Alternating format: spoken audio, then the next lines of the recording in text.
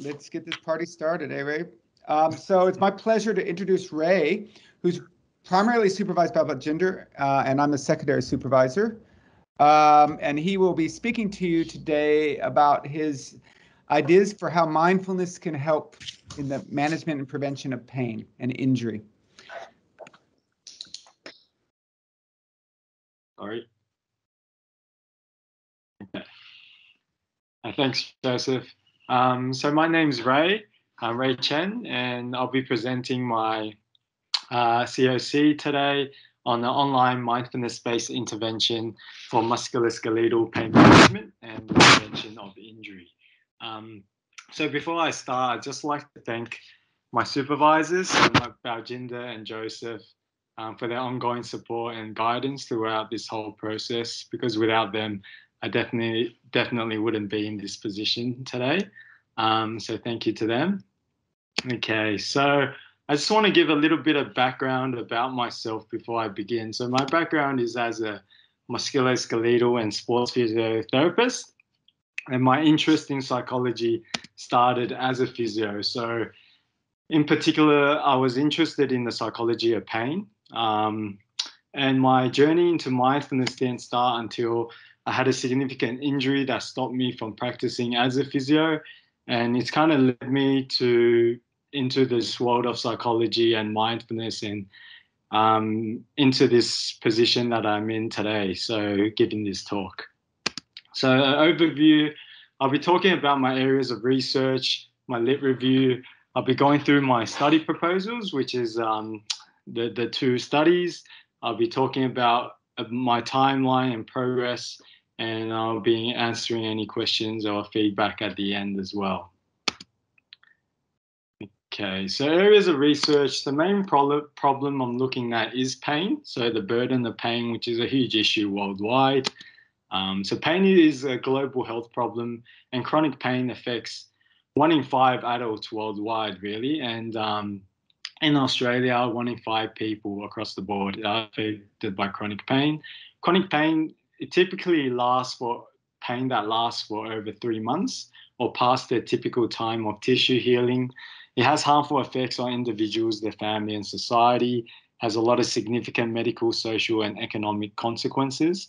Um, it is estimated that about 3.2 million Aussies live with chronic pain daily, costing the Australian economy about $34 billion every year. So, in terms of pain, I'm looking specifically at musculoskeletal pain. So, this refers to pain that commonly affects the joints, bones, muscles, spine, ligaments, tendons. So, I'm talking about things like osteoarthritis, fractures, um, muscle tears, hamstring tears, back and neck pain, ankle sprains, um, so soft tissue kind of injuries. So and low low back pain and knee osteoarthritis are the two musculoskeletal conditions that are the highest contributors of disability around the world. If we look at some data, in 2016, the global burden of disease showed that low back pain was the number one cause of disability, with musculoskeletal problems being the main source of disability burden. Um, the global burden due to musculoskeletal pain will continue to rise with the aging population as well. And the complications of musculoskeletal trauma and pain can lead to various psychological issues, so these issues may include things like stress, anxiety, and depression, all as a result of the pain from musculoskeletal regions. Now, the other area of pain I'm looking at is injury, um, and in particular, sports injury. So, physical activity that aims to improve or maintain muscle strength, physical fitness, flexibility, or overall health is recommended for most musculoskeletal pain conditions across the board. In Australia, participation in sports is, is basically the most common way that individuals partake in regular physical activity. So that subsequently helps reduce the burden of pain on, on our healthcare system. However, the benefit of sports participation is adversely affected um, by the risk of musculoskeletal sports injuries. So Prior sports injury is a very well known contributor to joint osteoarthritis in later life.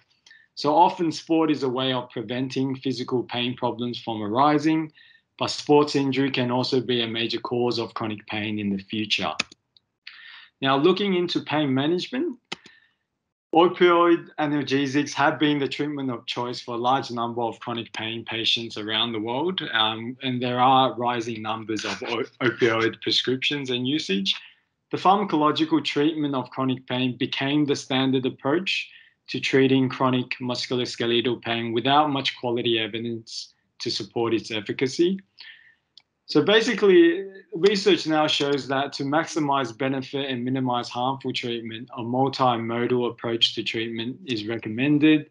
The biopsychosocial model of pain shows the importance of psychological variables in pain management, and mindfulness has an important role to play here.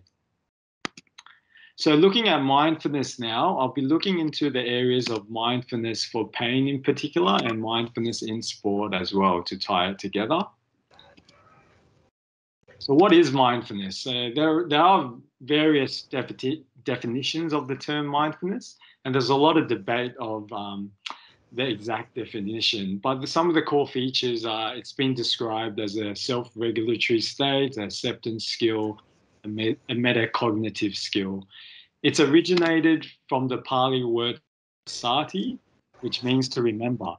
However, mindfulness is commonly translated to the presence of mind or attentiveness to the present. So reminding yourself to be fully awake or, and present in the, in the moment. Jon Kabat-Zinn was actually the first researcher to define mindfulness scientifically as paying attention in a particular way on purpose in the present moment and non-judgmentally. Now, when we look at mindfulness and pain, there's been a range of mindfulness interventions that have been shown to improve pain conditions. So the ones with the largest amount of quality research supporting their efficacy is the mindfulness-based stress reduction approach by Jon Kabat-Zinn initially and um, the acceptance and commitment therapy. So the mindfulness-based stress reduction was initially intended by Jon Kabat-Zinn to assist the Western world in the management of stress, pain, and illness.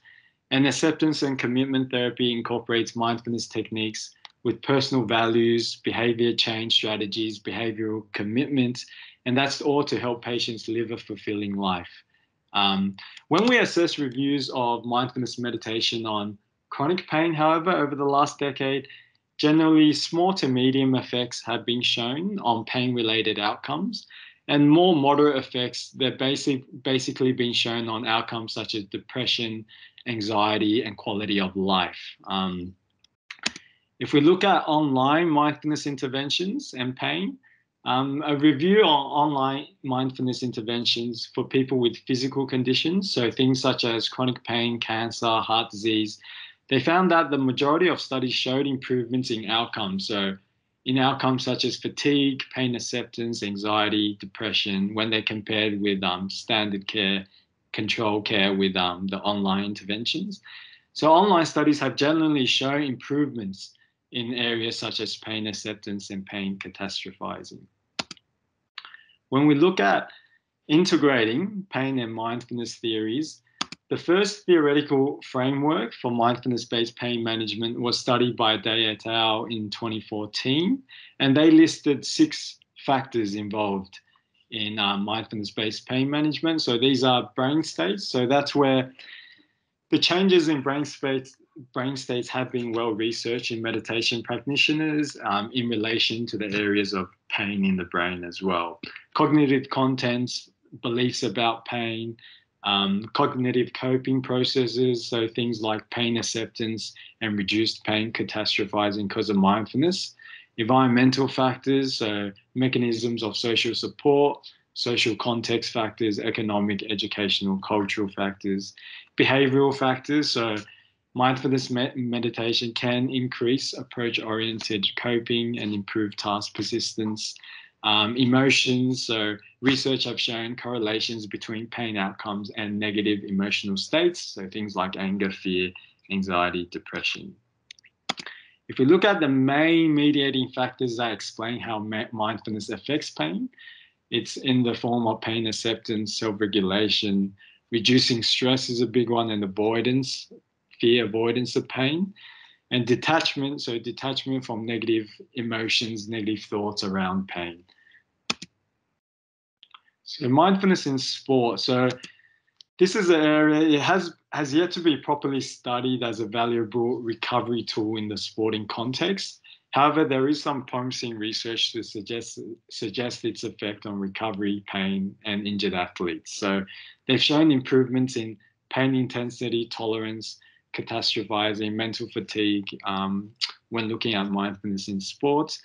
They, however, studies in mindfulness in sport have typically focused on improving performance with less emphasis on managing pain and preventing injury. However, there is promising recent evidence that mindfulness interventions can reduce the risk of injuries, and a lot of, a lot of research has been done in football and soccer. When we look at mindfulness mechanisms in sport, so this is based on psychological interventions following both physiological and psychological pathways to reduce stress response that leads to injury. So this is all based on the stress and injury model, and stress responses include things like cognitive anxiety, attentional disruption, diminished peripheral vision, and general muscle tension. Um, but mindfulness can decrease stress and improve attention, leading to that reduced risk of injury as well. So, looking at gaps in the literature that I've identified. So, currently, there's a large gap in research in regards to the use of mindfulness to manage acute pain or acute symptoms. And research in mindfulness and pain in the last decade have really focused mainly on chronic pain, and there's very little investigation of its effect on acute and subacute pain. In the sporting context, mindfulness has mainly been used for improving performance and well-being and reducing burnout, but there's a lot of potential for mindfulness interventions to impact the burden of sports injury and pain management, and that has not um, been fully investigated yet. When we look at online mindfulness interventions, they have shown promise in treating physical health and chronic pain conditions, However, its effect in managing acute musculoskeletal pain and injury has yet to be studied really. So this leads into my study proposals. I'll be going through my systematic review, meta-analysis, and my randomized controlled trial. So if we look into my study one, so the first aim of my study will be to review the effectiveness of mindfulness-based interventions in managing musculoskeletal pain in the general population. And the second aim will be to review its effectiveness in preventing injuries or preventing sports injuries.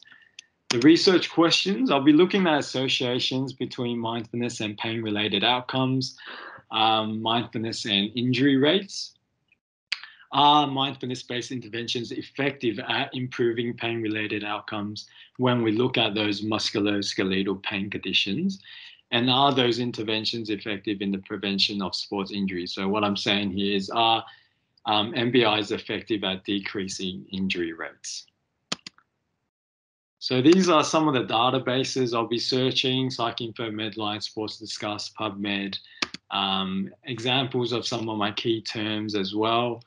Um, so this is broken up into three categories. Okay, so eligibility eligibility criteria. So studies I'll be reviewing that have to be published in, in, um, in English. Um, for intervention studies, they need to be experimental design, longitudinal or cross-sectional design. Um, however, I'll also be looking at correlational studies as long as they have correlational data between mindfulness and musculoskeletal pain or injury. They need to include a manipulation or quantitative measure of mindfulness. They need to include a musculoskeletal pain related outcome. You need to have the mindfulness intervention needs to be used to manage pain, manage musculoskeletal pain, and or prevent a sports injury. Um, and I'm investigating pain conditions caused by injury to the body. So I'm excluding pain from conditions such as cancer, tumors, autoimmune conditions.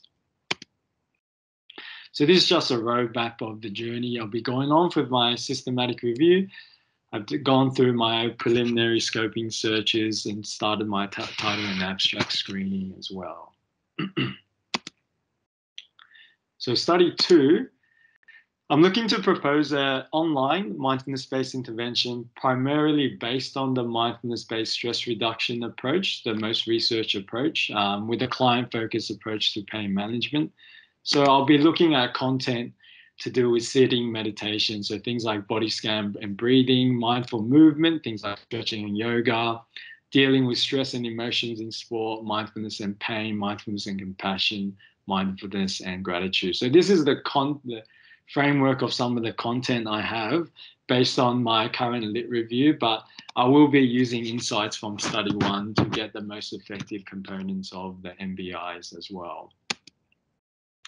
So the main aim of the current study will be to investigate the effect of an online intervention, mindfulness intervention, in managing daily pain outcomes for elite. For the so the group will be elite soccer players. Um, daily diary outcomes have the advantage of capturing the experience of the individual in the natural context, and the study will also be aimed at whether the online MBI can effectively reduce injury rates in elite soccer players as well. I'll be testing whether mindfulness mediates the effects of these outcomes as well.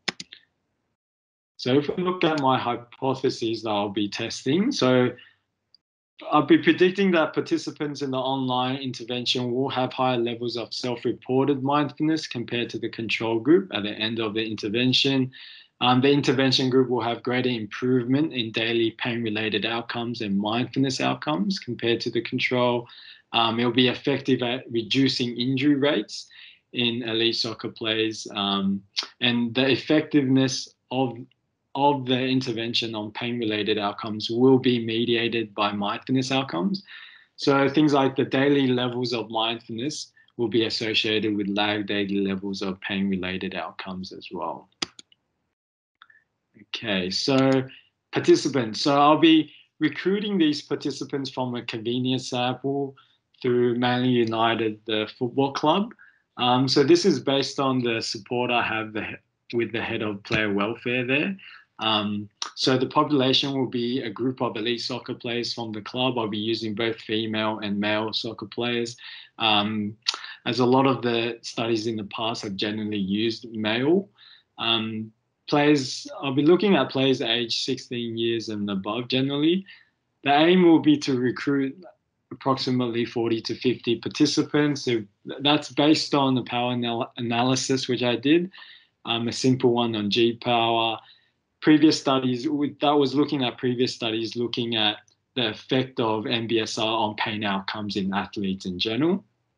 So these are some of my eligibility criteria. So players must be at least 16, players must have trained regularly with the team, um, they must be un- able to understand and write English. They must be beginners to mindfulness meditation. So basically, they must not have any formal practice of meditation. And um, players must not have any prior diagnosis of mental health conditions as well.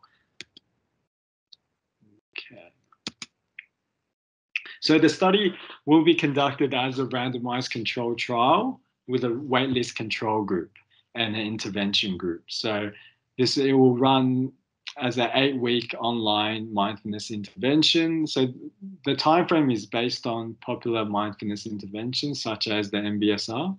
Um, and once the final sample is confirmed, participants will be matched in pairs. So that will be based on gender, age, and previous history of injuries. So that's to minimize the risk of bias between the intervention and the control groups. I'll be matching on the number of previous injuries that's kind of due to the fact that a history of injuries is often a strong indicator of further injury as well, which will affect um, the bias of the um, results. So looking at measures.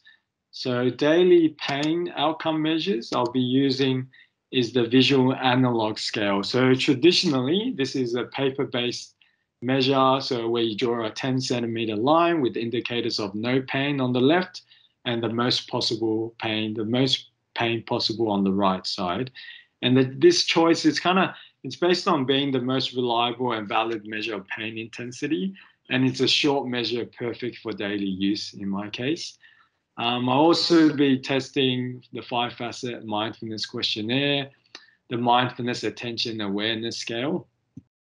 In terms of that one, I'll be using the mindfulness attention awareness, the, the state mindfulness attention awareness scale. So that's only a five item scale to be used daily because it's quick to fill out and it is reliable and valid tool for measuring this present state of mindfulness. And I'll also be using the non-attachment scale prior and post um, intervention, and that's created by my supervisors.